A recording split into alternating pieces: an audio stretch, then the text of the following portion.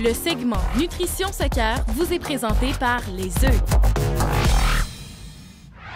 La recette qu'on vous présente aujourd'hui contient tous les nutriments nécessaires pour performer sur le terrain. Oui, en fait, aujourd'hui, on vous propose une salade d'œufs mollets qui va être servie sur un risotto d'orge crémeux avec une vinaigrette à l'érable et une garniture de noix croquantes. J'ai déjà l'eau à la bouche. Je suis impatiente de voir ça. Alors, on y va. Notre salade aux œufs mollets contient environ 700 calories, 30 g de glucides et 28 g de protéines. Il est recommandé de la consommer au moins 3 heures avant un match. Vous aurez besoin de vinaigre à l'érable, de mayonnaise maison, d'œufs cuits durs façon mollet, d'orge cuit, d'une garniture de noix croquantes, de légumes assortis au choix. Dans un bol, versez la mayonnaise maison et le vinaigre à l'érable. Fouettez vigoureusement avant d'ajouter l'orge cuit. Mélangez le tout afin que la céréale soit bien enrobée. Déposez le mélange de laitue et de kale dans une assiette.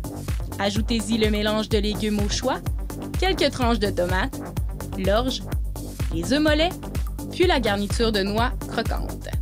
Simple et délicieux. Voilà une belle assiette riche en couleurs, riche en saveurs. Bravo Stéphane. Merci. J'aimerais souligner aussi que dans tes recettes, il y a très peu de sel ajouté. Oui, mais en fait, c'est voulu. J'aime mieux travailler avec des huiles aromatisées ou des vinaigres spéciaux qui vont faire en sorte de rehausser les saveurs naturelles de nos aliments. Bien, bravo Stéphane. Merci. Merci à toi. On va aller rejoindre Eve Crépeau qui répond à la question nutrition de la semaine. Je suis en compagnie de Eve de la Clinique universitaire de nutrition de l'Université de Montréal. Eve, en tant qu'athlète, est-ce qu'il y a des aliments qu'on devrait bannir de notre alimentation?